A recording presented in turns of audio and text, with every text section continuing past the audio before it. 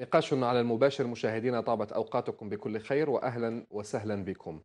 يبدو أن حج 2016 سيمر بردا وسلاما على وزارة الشؤون الدينية وديوان الحج والعمرة فما تم تسجيله لحد الآن من حوادث أو مشاكل لا يقارن بما عاشه حجاجنا العام الماضي رغم أن بعض التعديلات التي أدخلتها السلطات في هذا الموسم كحجز الفنادق والسوار الإلكترونيين لم تكن موفقة. إرضاء الناس غاية لا تدرك وتسيير الحج على المقاس والتمام ثقافة ربما لن نصل إليها قريبا رغم أن كثيرا من الشعوب يسوقون صورة مشرفة لبلدانهم في البقاع المقدسة فما المانع من أن نصل لمستواهم؟ هل المشكل يتعلق بكفاءات مسيرة أم بحجاج إرضاؤهم مستحيل؟ أم غياب القصد من الحج كعبادة وليس كعادة سياحية؟ هل نجحت المرحلة الأولى من الحج؟ وإلى متى نهدد بعقاب المهملين ونقص الخبراء من وكالات وأعوان وأئمة في الحج؟ كم هي مؤلمة أن يدفع حاج أموالا اكتنزها لإتمام الركن الخامس من الإسلام لكنه لا يجد من يصحح له أخطاءه وبين مفتي سعودي ومفتي جزائري من البعثة أين سيتوجه الحاج؟ أسئلة وأخرى أطرحها في هذا العدد من نقاش على المباشر وأسعد باستضافة البروفيسور محمد بن بريكة أستاذ الدراسات الإسلامية بالجزائر العاصمة. بروفيسور مساء الخير. أهلا وسهلا سيدي الكريم وقبل أن نبدأ النقاش في هذا الموضوع أربط الاتصال مباشرة عبر الهاتف بموفدنا في البقاع المقدسة محمد شوقي علاك. محمد شوقي مساء الخير. مساء النور مساء النور بضيوفك الكرام كل مشاهدي قناة نهار محمد شوقي ربما لو تستطيع أن تعطينا حوصلة في حوالي خمس دقائق عن حج هذه السنة. نحن اليوم في يوم التروية الحجاج جزائريون. أين توجهوا إلى منى أم لعرفات؟ ماذا حدث في هذه الأيام كلها وماذا يحدث الآن أيضا وأنت متواجد ربما في عرفات؟ تفضل. نعم في بادئ الأمر كان كل شيء يعني ممتازا خاصة في مرحلة يعني الأيام الأولى من مرحلة الإسكان. يعني هكذا يبدأ يبدأ الحج يأتي الحاج إلى المطار ثم يستقبل ثم يحول إلى الفنادق أين يسكن. وهنا يبدأ يعني نبدأ التمييز من حج موفق أم حج بمتاعب ومشاكل. في بداية الأمر كان كل شيء على ما يرام. يعني المسار الإلكتروني قد أثبت نجاعته في يعني الرحلات الأولى التي كانت جلها مبرمجة وقد حجزت الكترونيا غرفها يعني كل الحجاج يعني مروا على هذا المسار. لكن ب يعني قدوم الرحلات الأخيرة بدأت بعض الهفوات يعني تظهر في هذا النظام الجديد. وخاصة يعني بدأ إن صح القول أن أن أقول أنه بدأ العبث بهذا النظام خاصة وإن عدة غرف كانت محجوزة لحجاج ما قد غيروا وتم تغيير مباشرة غرفهم. وهذا لأسباب قالت البعثة الجزائرية أن حجاجا قد دخلوا عنوة إلى الغرف. يعني هذه حتمية وهذه هذا هو يعني السبب الذي لقيناه من طرف البعثة. وبعد ذلك من مرحلة الإسكان نأتي إلى مرحلة الإعاشة التي ربما دفع الحاج الجزائري هذه المرة أموالا زائدة عن السنة الفارطة. فنقول من حقه أن يحصل على يعني إعاشة لا بأس بها واعاشه مشرفة.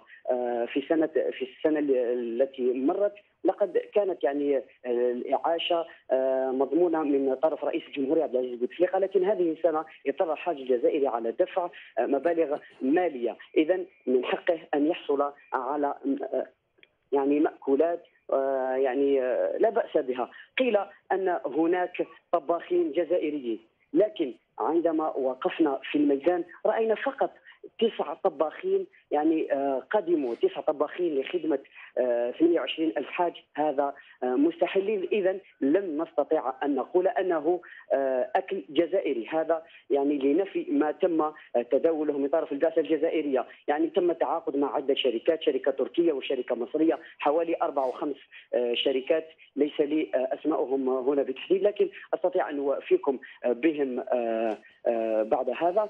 وشيء يعني النقائص التي رأيناها. صحيح أنه الأكل كان صحي لم يكن فيه مشاكل لكنه لا يستطيع أن يكون اكلا جزائري فهو أكل شرقي. وبتعرف العادات الجزائرية وإحنا يعني عندنا ذوق نعم. خاص الجزائري يحب هذاك الذوق الخاص.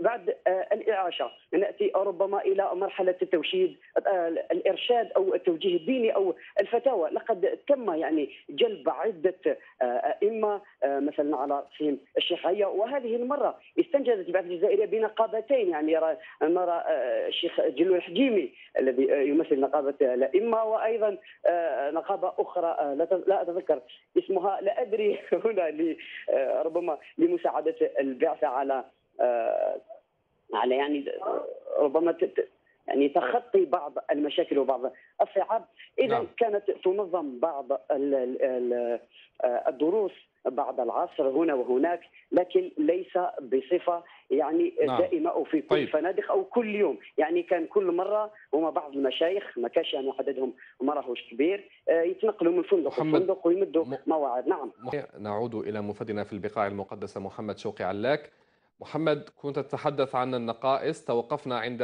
الإفتاء والتكوين الديني. آه، من هذه النقطة أو واصل لنا تقييمك في عجالة وحتى اليوم. تفضل.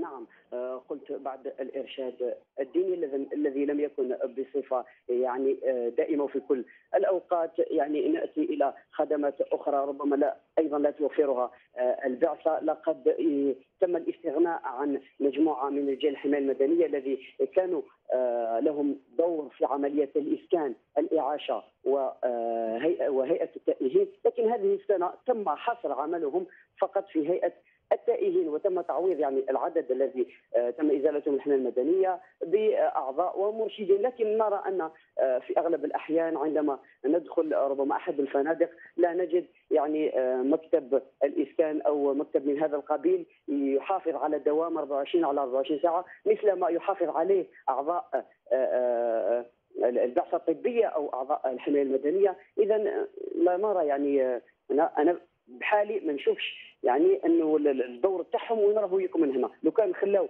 ربما العادات الحماية المدنية أو زادوهم في, في, في, في البعثه الطبية اللي في أحد الفنادق آه، يجوزوا أكثر من 250 مريض يوميا. يعني رقم رهيب رهيب وما يخليهمش نعم. يعني يعملوا بصفة.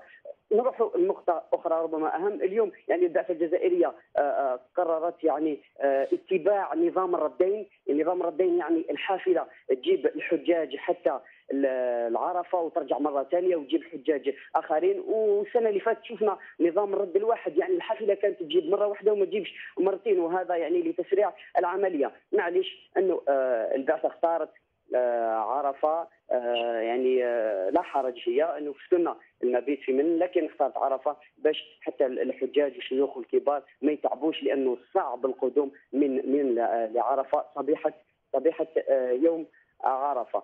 هذا وش كان يعني فيما يخص اليوم أما فيما يخص يعني السكنات كنا تنقلنا آه، منذ لحظات إلى آه، المخيمات وعاينا يعني حالة الحجاج وهم يعني لا بأس بهم وعجبهم الحال كثير خاصة في هذه المخيمات اللي يعتمدوا مخيمات المانيه بمعايير أوروبية ومكيفات نعم. جديدة وأيضا آه، الصفابات يعني يعني كاين فيه افرشه مش زرابي فقط كما كانت في السنوات يعني كاين هناك تحسن في مخيمات عرفة. لكن السؤال ربما المشكل الذي سيكون وككل سنة راح تكون في مخيمات مينا اللي ما كاش أي تغيير في هذه المخيمات وما زال المساحة ضيقة والمخيمات ما تستوعبش 120 ألف حاج. ممتاز ممتاز جدا محمد شوقي علك أشكرك جزيل الشكر على هذا هذه الحوصلة حول المرحلة الأولى من الحج. شكرا لك. آه، إلى حين آه، ربط الاتصال بيوسف عزوزة دكتور بمريكا ملاحظاتك كمعاين لما حدث هذه السنة في الحج. قبل آه، قبل أن أعطيك مشاهدينا أعطيه الكلمة حول الحج. دكتور بمريكا وقبل دخوله إلى الاستوديو كان منهمكا على كتابة بعض الأبيات كخواطر في هذه في تلك اللحظات عن المرحوم نصر الدين من عين الفكرون نستمع لهذه الأبيات التي كتبها الآن أو قبل دخوله الاستوديو ثم نفتح النقاش على ملف الحج. تفضل دكتور. بسم الله الرحمن الرحيم والصلاة والسلام على سيدنا محمد وعلى آله وصحبه أجمعين. أعزي عائلة الفقيد بمناسبة هذه الفاجعة وأقول جئنا نعزيك لا أن على ثقة من البقاء ولكن أسوة الدين. ليس المعز بباق بعد صاحبه ولا المعز ولو عاش إلى حين. قضيت ليلتي الماضية باكيا وأنا يعني في خلوة مع الله سبحانه وتعالى. تأثرت لمقتل هذا الصبي بهذه الطريقة البشعة من أقرب الناس إليه من المكان الذي يأتيه منه الأمان. ووضعت نفسي مكان الوالدين فالمأساة في العشر المعظمة من شهر الله الحرام والفجر وليال عشر بمناسبة دخولي إلى الأستوديو أيضا كنت مختليا في صالون قناة النهار المضيافة فكتبت هذه الأبيات أناصر تبكيك في الشهر الحرام الجزائر وقد قتلتك أياد فعلها غادر. لم ترع فيك يا صغيري إلا وذمة فويلها عند ربي يوم تبلى السرائر. إلى جنة الخلد رحيلك دون ريب وقد ملئت بالأبرياء منا المقابر. فإنها لا تعمى الأبصار وإنما تعمى من القساة تلك البصائر؟ وهل أنت إلا ثكل مجدد؟ في كل مرة تقتل براءة جديدة. وهل أنت إلا ثكل مجدد للوالدين وحزن تجاهلته الأكابر؟ إلى الله مشتكانا من مآس كثيرة. فمتى يا قوم تصحو منا الضمائر؟ سلمت يا دكتور ولفظ فوك وهذا كله أعلم أنه من تأثرك بما حدث للطفولة. نعم. أتمنى الأفضل والأحسن للطفولة في الجزائر. آه، نعود إلى موضوعنا مع السيد يوسف عزوزة مدير الديوان الوطني الحج والعمرة معنا مباشرة من البقاع المقدسة. أستاذ يوسف مساء الخير. مساء النور. السلام عليكم ورحمة الله وعليكم تعالى وبركاته. وعلي... تحية لكم ولضيفكم الكريم. وعليكم السلام أستاذ يوسف. كنا نتكلم قبل قليل مع مفدنا في البقاع المقدسة. أوجز لنا في عجالة تقييما عن المرحلة الأولى. آه، سؤال آه، عن هذه المرحلة وحتى اليوم وأريدك أن تحدثني كحاج وليس كمدير للديوان. تقييمك تفضل. أنا أقول بسم الله وأصلي وأسلم على رسول الله. كحاج سبق لي ولله الحمد والمنة أن أديت هذه الفريضة. وما لاحظته هذه السنة هو آه، تحسينات في على مستوى خدمات كثيرة. إن على مستوى المسكن القريب من الحرم المكي أو على مستوى الإعاشة التي لقيت استحسان جل حجاجنا الميامين. أيضا مبادرات يعني تشكر وتثمن هذه المبادرات التي تهدف إلى تطوير تنظيم عملية الحج حتى ولو سجلت بعض يعني الملاحظات طفيفة. منها حجز الحجاج الميامين غرفهم بأرض الوطن فأغلب الحجاج يعني وجدوا فعلا غرفهم وحدث يعني خلل بسيط يستدرك ويعالج. لاحظنا أيضا في الميدان ولله الحمد منا أن بعض الملاحظات التي تسجل هنا أو هناك سواء على متعامل أو على وكالة أو في مكان ما يعني يتفاعل معها ايجابيا من خلال تقارير تفاعل لجنة المتابعة ويحل يعني في في في, في عين المكان. يعني فيه يعني روح حقيقة موجودة يعني داخل الفريق سواء الحجاج أو أعضاء البعثة يعني هناك تكامل. الهدف هو فعلا تشريف الجزائر ورفع رأية الجزائر. يعني نقول صدقا وصراحة أنه كثير من الإيجابيات لمسها الحاج وعاشها الحاج وعبر عنها الحاج في هذا الموسم والذي عبر عنه أيضا معالي وزير الشؤون الاوقاف وقال أنه يعني أن هذه المرحلة ولله الحمد منها كانت ناجحة يعني على عدة اصعده والحمد لله. أستاذ يوسف عزوزة مدير ديوان وطني الحج والعمره شكرا جزيلا لك على هذا التقييم حول المرحلة الأولى من الحج. العفو بارك الله فيكم وجزاكم الله خيرا. شكرا. دكتور أبدأ معك الآن استمعت للمراسل والموفد نهار واستمعت أيضا ليوسف عزوز المدير ديوان وطني الحج والعمره تفضل. اللهم صل وسلم وبارك على سيدنا محمد. اولا النظر إلى الأشياء يجب أن يكون دائما بعين الناقدة. ليس الفشل أن نسقط إنما الفشل أن نقف حيث سقطنا. تتكرر في كل موسم حج مآس كثيرة سواء على مستوى الإطعام والإيواء كما ذكر مراسلكم سواء على مستوى التيه الذي يحصل لكثير من الحجاج بحكم السن بحكم المرض. سواء يعني بطبيعة المشاق التي يتعرض لها الحاج أثناء أداء مناسكه ولأن السفر في النهاية هو قطعة من العذاب كما قال صلى الله عليه وسلم. ولكن حين نأخذ حج هذا العام وإن كان يصعب علينا تقييمه قبل نهاية المناسك وعودة الحجاج إلى أرض الوطن بصورة نهائية. لكن مع ذلك نقول بأن هذه النقائص تقابلها بعض المزايا وبعض الحسنات. حدثني أحد حجاجنا الميامين هذا اليوم في منى قال آه، نزلنا بخيام محترمة وخيام مكيفة وهذا شيء إيجابي يجب أن نعترف به. لكن مع الأسف الشديد ما تابعته في الأيام الأخيرة آه، من أحداث تكررت وهي أحداث تتجدد كل سنة ما تابعته آه، ينافي تماما ما تفضل به السيد وزير القطاع. من طبيعة البشر أن يمجدوا دائما ما يقدمون. وفي المجال السياسي عندنا الكثير من المديح والإطراء لنشاطات الجهاز التنفيذي. قد أبعدنا عن مطارحة بعضنا بالواقع ومصارحة بعضنا بالنقائص التي لا يخلو منها أي قطاع. في جميع أنحاء العالم ولكن المبالغة في الإطراء والمبالغة في المديح غيبت عنا هذه الصورة الناقدة التي تجلي لنا حقيقة الحج قال مراسلكم جماعة من المفتين. أولا مشكل الفتوى في الحج مشكل عضال. حجاجنا مغرمون في أغلبهم بهذه النظرة المشرقية للأشياء والفتوى من المشرق ومن بلاد الحرمين يعتقدون أن الدين ببلاد الحرمين وهذه نظرة خاطئة. بلاد الحرمين لها قدسيتها بحكم وجود الحرمين. أما العلم فلا وطن له. العلم يؤخذ خاصة في مجال الفتوى المتعلقة بالعبادات يؤخذ من الوطن لأن المرجعية الدينية تتفاوت من بلد إلى آخر. ذكر مراسلكم ضرب مع الأسف مثلا آه، لا يمكن أن يصور حقيقة العلم الشرعي في الجزائر. قال وعلى رأسهم فلان.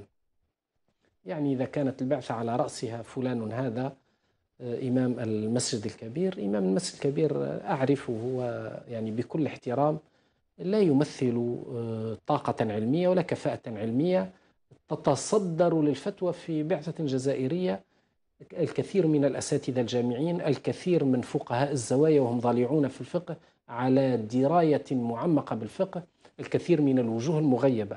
الحديث أيضا في, في هذه النقطة بالذات لأنها أهم نقطة أعتقد أنها دكتور في هذا المجال متعلقة بالفتوى و آه، المرافقة الدينية. حتى لا يضيع حتى لا, سؤال فيه. حتى لا يضيع مني نعم. الخيط. الحديث عن وجود ممثل هذه النقابة وممثل تلك النقابة. نحن لسنا في ما يطلبه المستمعون. الحج لا يجب أن يتكيف مع الدعوات النقابية ولي موقف خاص من وجود النقابات في القطاع الديني. من اليوم الأول أنا رفضت يعني كوجهة نظر حرة لا بصفة رسمية لأنه ليست لي صفة رسمية ولكن كأكاديمي وكباحث وكناظر إلى الشؤون هناك الدينية هناك قطاعات لا يجب أن توجد فيها النقابات لأنها تخل بالكثير من التوازنات في الوحدة الوطنية. هذا كلام لو دعيت إليه لقلت. وجود من يمثل هذه النقابة ومن يمثل تلك النقابة في الحقيقة أمر لا يجب أن يكون. فمن يزعج سيادة الوزير يدعى للحضور إلى الحج.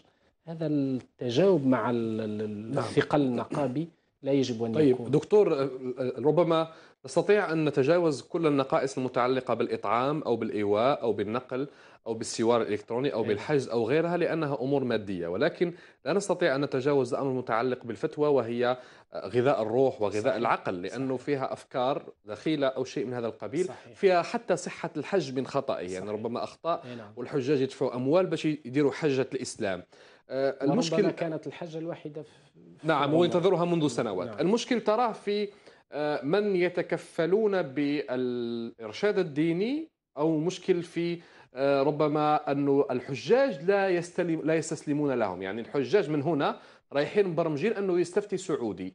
المشكل أين؟ لا يقتنع هو بالجزائري؟ آه، سيدي الكريم هناك عزوف منذ ظهور الفضائيات وشبكة الإنترنت وبداية التسعينات هناك عزوف عن المرجعية الدينية الجزائرية عزوف من أفراد كثيرين من الشعب الجزائري لأسباب متعددة. وهذه الموجة المشرقية التي تحدث عنها مراسلكم في مجال الإطعام لو كانت في مجال الإطعام لهان الخطب ولكن الأمر أكبر من هذا بكثير.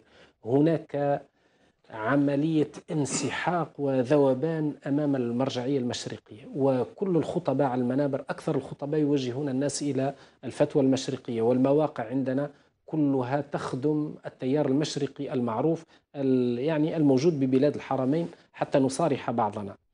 هي ليست مرجعية لا أزهرية ولا عراقية من بغداد والكوفة وما إليها من مراكز العلم. هي مرجعية نجدية معلومة لها مدرسة معينة. مع الأسف الشديد جعلناها مصدرا للفتوى في كل شيء وهناك مهازل على القنوات عند السؤال في المسائل الشرعية. مع الأسف آه، هذا التوجه موجود من البداية. ثانيا الصورة الموجودة بالجزائر لا شك أنها موجودة في الحج يعني سيطرة خطباء هذه المدرسة على المنابر وعلى الدروس وعلى فضاءات العلم والمعرفة. لا شك أنهم وقد رأيتهم بعيني في بمناسبة الحج وحججت مع الأستاذ يوسف عزوزة يعني حج حجة الفريضة حججت معه ولاحظت بعيني الكثير من من المتطرفين من المنسلخين من المرجعية الدينية الجزائرية يتصدرون للدعاء ولتوجيه الحجيج إلى آخره. هذه كارثة مع الأسف الشديد فالقلة التي تستمع إلى التوجيه على المذهب الرسمي الجزائري على الأقل على المذاهب المعتمدة في الشمال الإفريقي. المذهب الغالب هو المذهب المالكي. مع الأسف حتى في اللباس حتى في في السلوك العام هناك تأثر بالمدرسة المشرقية. لا أعتقد أن وزارة الشؤون الدينية التي تركت الحبل على الغارب هنا في المساجد وتستطيع أن تصلي حيث شئت سترى المطويات سترى الألبسة تباع على أبواب المساجد سترى الأقراص سترى الخطباء وكأنهم جاءوا من كوكب آخر إلى الجزائر يخاطبون هذا الشعب بمفهوم جديد بتصور جديد للدين بفقه جديد جلبوه من بلاد طيب الحرم. المشكلة أين دكتور؟ هل المشكلة في العض... ال... ال... الأئمة الذين المفروض أن يرافقوا الحجاج مهمشين في الجزائر؟ من تقترح مثلا أن يشرف على آه، الإرشاد الديني لحجاجنا؟ عندك اسم شوف مثلا؟ شوف سيدي الكريم تكلمت منذ سنوات قبل هذا الوزير ويعني قبل الوزير الذي سبقه تكلمت عن آه، منصب مفتي الجمهورية. كان لي تصور معين وأنا أول من أثار هذه المسألة وكان هناك يعني تجاذب علمي في هذا الموضوع. ولكن مع الأسف في النهاية نجد صيغة مشوهة لمفتي الجمهورية في شكل فتوى جماعية ومجلس جماعي وهناك تحايل في الحقيقة على هذا الصرح الذي يجب أن يكون صرحا معنويا وروحيا يوجه الفتوى ويرجع إليه في الفتوى. هذه واحدة. أه، تكلمت عن مسألة المرجعية الدينية والدفاع وأنا متعصب للمرجعية الدينية في عقد الأشعرية وفقه مالك وفي طريقة الجنيد السالك.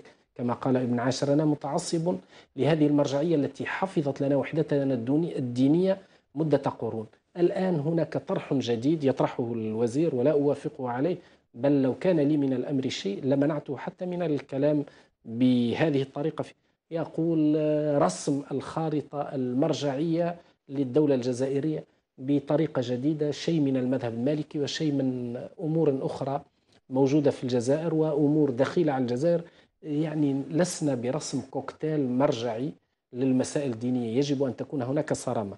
فالمسؤولية مسؤولية وزارة الشؤون الدينية التي هي وزارة للشؤون الدينية. دكتور اسمح لي المقاطعة نعم. أنا تكلمت عن من يرافق الحجاج؟ هل مهمشين هذول الأئمة ولا مش موجودين؟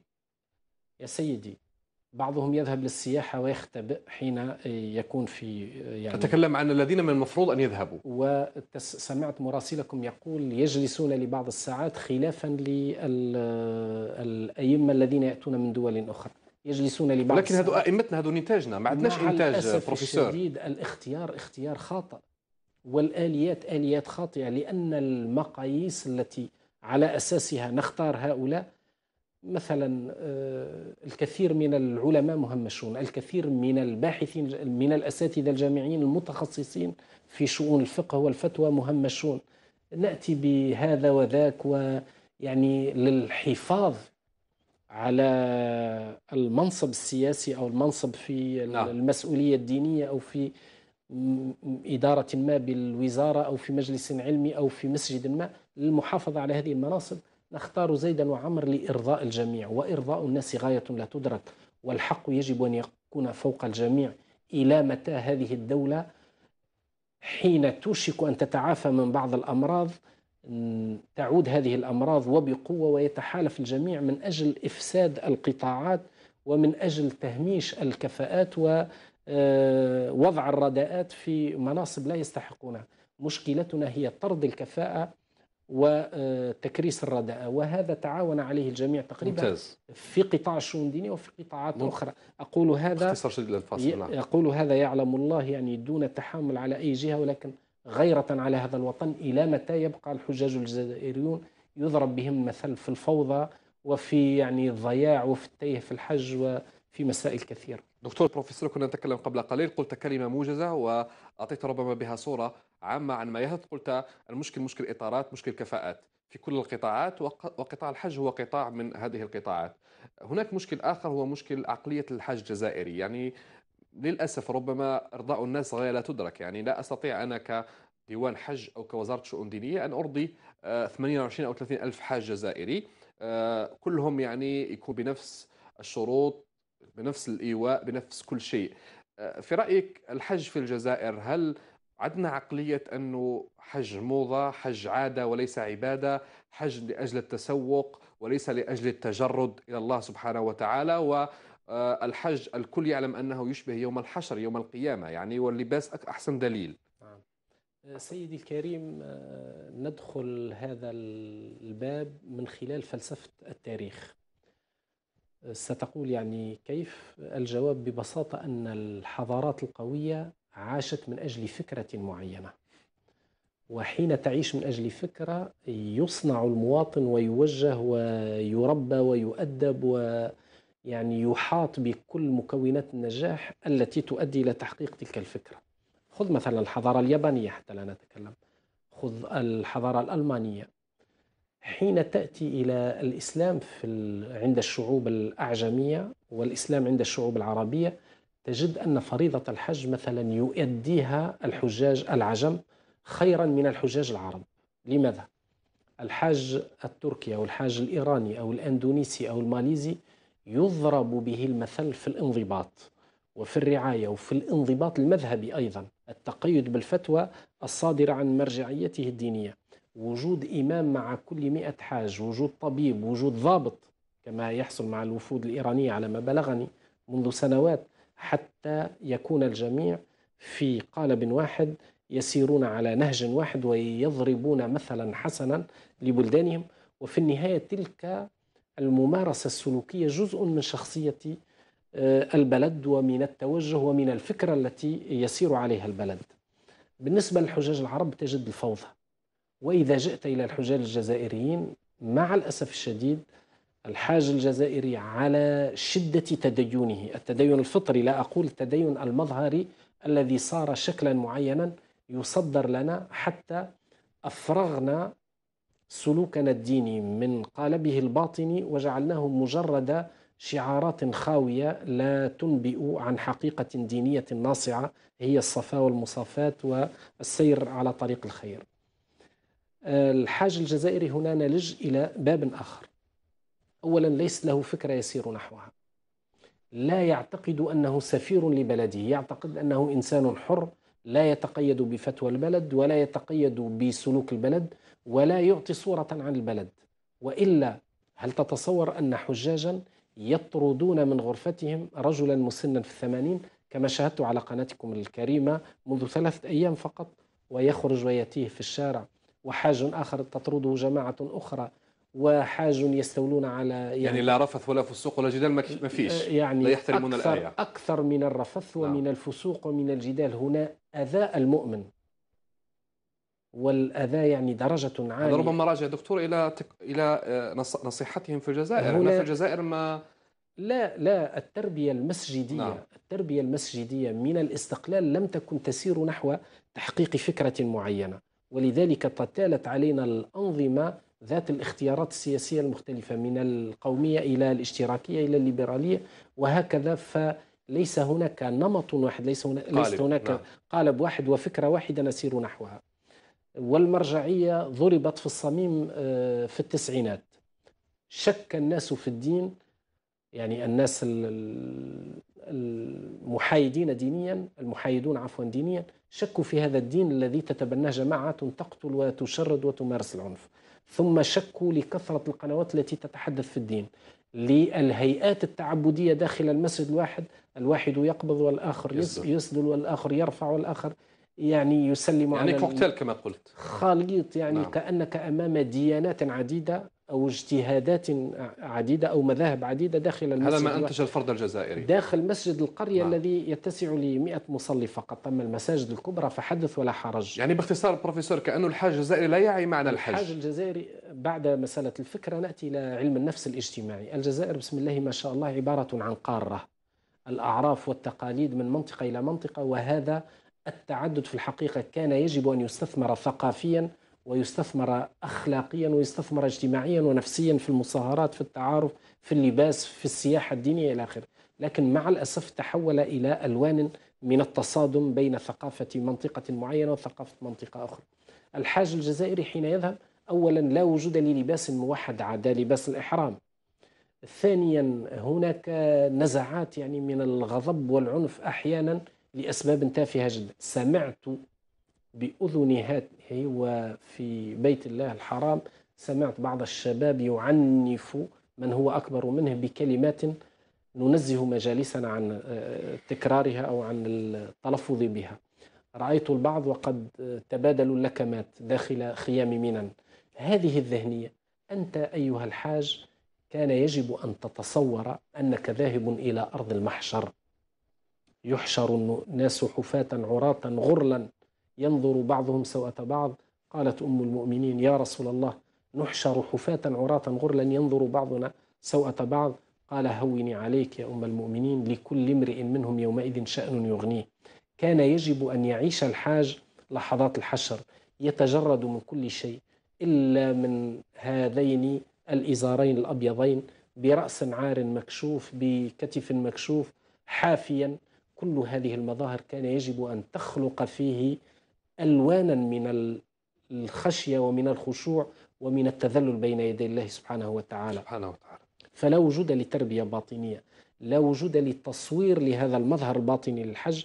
الله سبحانه وتعالى يقول أسبغ عليكم نعمه ظاهرة وباطنة. نحن اشتغلنا بالظاهرة ولم نشتغل بالنعم الباطنة. بروفيسور نعم. اسمح لي المقاطعة راح نروح عند آه، الأستاذ مصطفى بن عطلة وهو مكلف بالحج والعمرة سابقا. بقنصلية الجزائر آه، بجدة. مساء الخير أستاذ مصطفى. مساء الخير. آه، بداية أنت لك باع كبير فيما يتعلق بتنظيم الحج والعمرة وسبق وأن كنت في قنصلية الجزائر بجدة واشتغلت على هذا الملف لسنوات. آه، تلاحظ أنه كل سنة نتحدث عن بعض النقائص وكل سنة نتحدث عن بعض الهفوات وكل سنة نتحدث عن بعض المشاكل التقنية تارة أو المشاكل المتعلقة بصلب الحج وهي مشاكل إرشاد ديني ومشاكل آه، توجيه ديني وفتوى دينية. في رأيك لماذا تكرار هذه المشاكل؟ هل المشكل مشكل كفاءات تسيير؟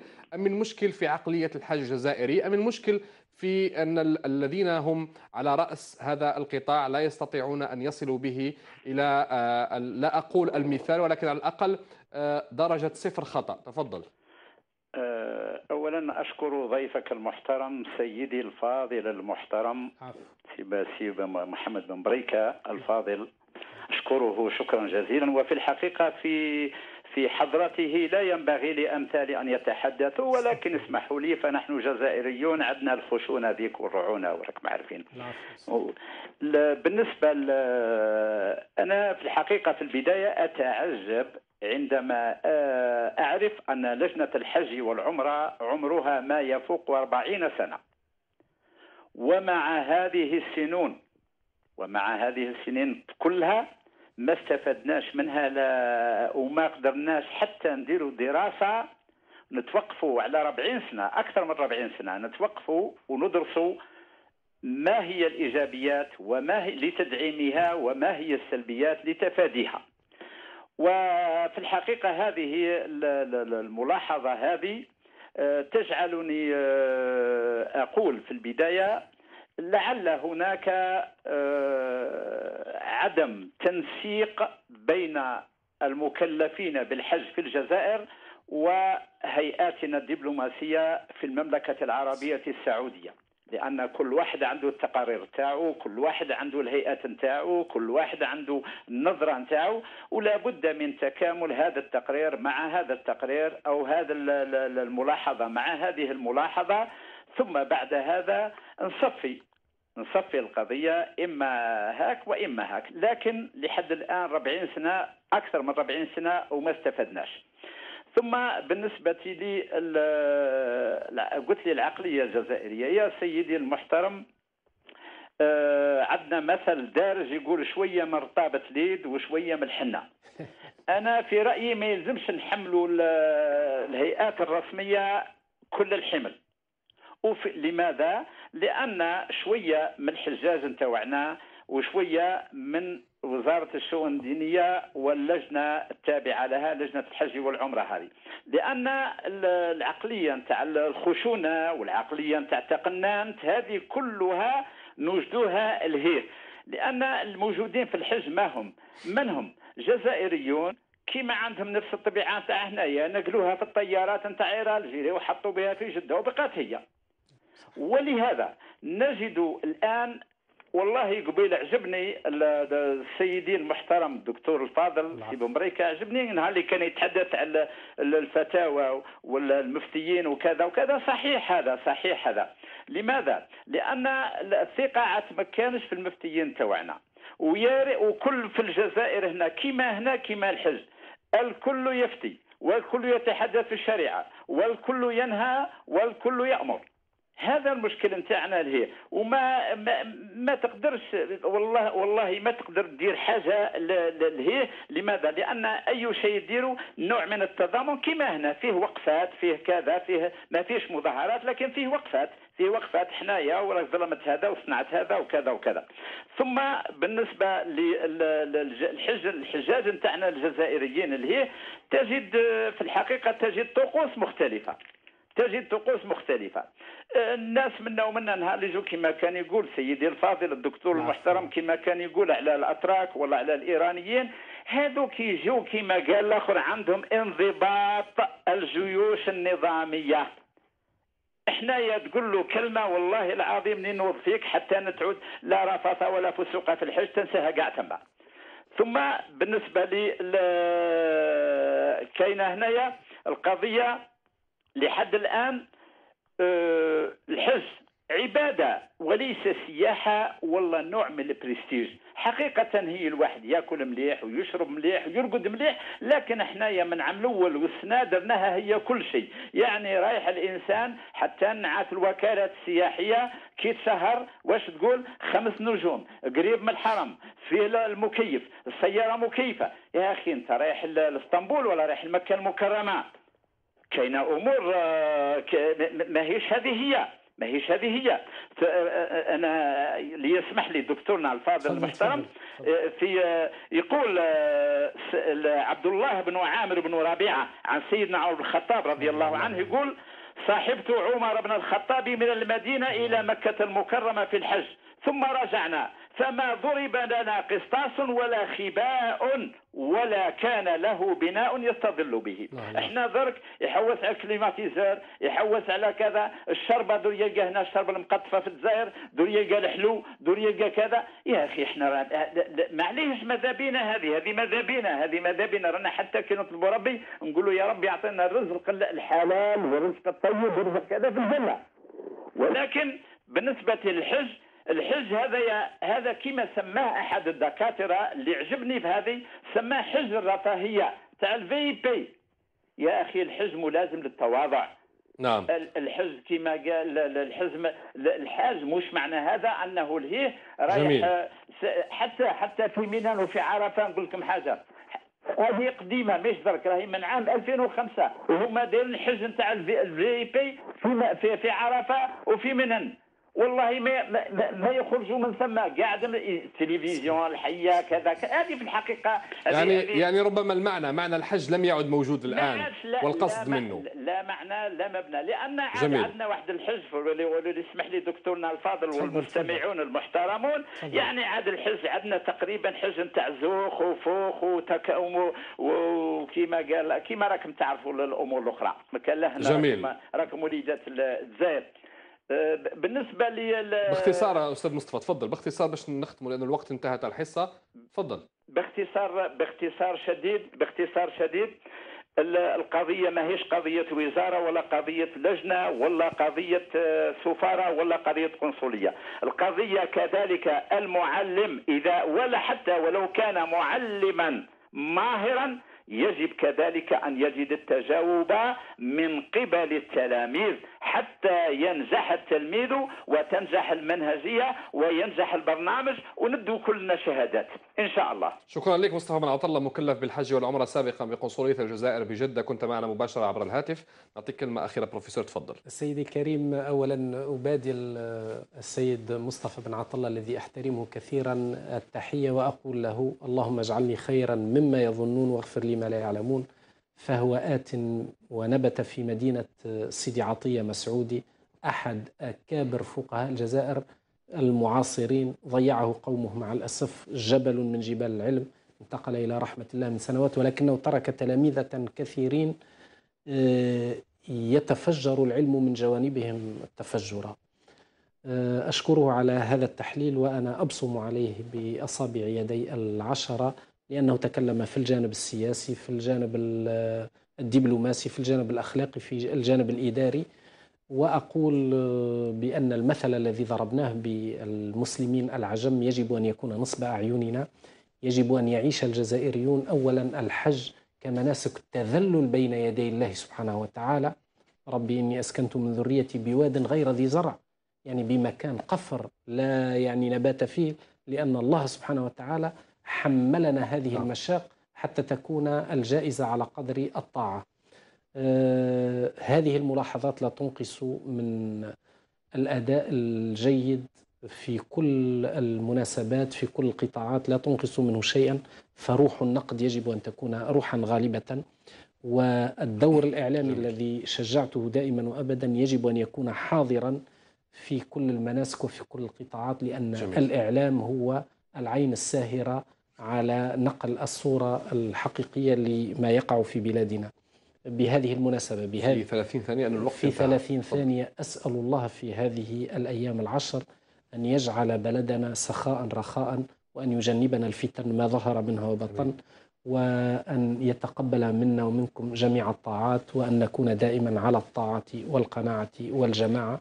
والله الموفق والسلام عليكم ورحمة الله. بروفيسور محمد بريكة أستاذ الدراسات الإسلامية مشكور جدا على حضورك معنا.